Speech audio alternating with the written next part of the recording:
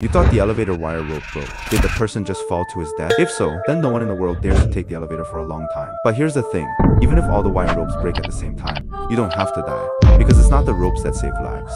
It's the speed limiter and safety gear you never notice. Elevators don't run on ropes. It has a complete self-rescue system. When the wire rope breaks, the falling speed of the elevator will increase sharply. At this point, the speed limiter will start instantaneously. The control system sends a signal immediately. Let the safety pliers bite the guide rail. Lock the car firmly. The entire process takes less than 0.2 seconds. Faster than you can scream?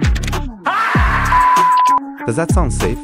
Yes, but only if you don't seek death. You were jumping around inside, even forcibly break down the door. As long as the system misjudges it as an abnormal fall, the speed limiter will also activate. The elevator came to a sudden stop, like card layer. If it is heavy, it will catch people. And here's what's even scarier. If you really meet speed limiter plus safety pliers plus control system, both fail. Do you think you are waiting to die? The bottom of the hanging box is not finished yet, and a set of ultimate life-saving buffers installed at the bottom of the well, like a giant spring trampoline, afraid that the elevator will really fall to the bottom. It also minimizes impact. It won't be directly flat. But don't really think of yourself as a Superman. The small, strong buffer can only be used once. It's not a toy you can jump off over and over again. So remember, elevator, does not equal death. Elevators are never dangerous to fall. You know nothing about it. Jumping at the door, kicking the door, pressing the button. The ones you think you can save yourself. Instead, it will let the system misjudge and derail and hurt people. He's not afraid of malfunctions. I'm afraid you'll move. When the elevator really crashed, what is the safest position? I'll tell you in the next issue.